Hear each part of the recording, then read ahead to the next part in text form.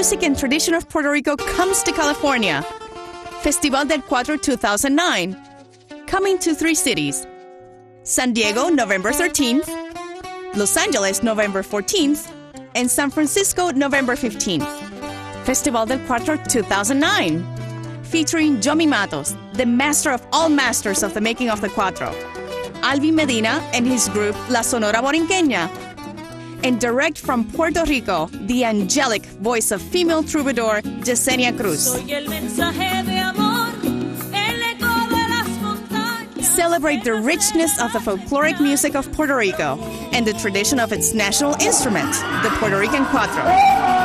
Share in the best traditional and contemporary music from the Island of Enchantment. Festival del Cuatro 2009. Visit www.festivaldelcuatro.org.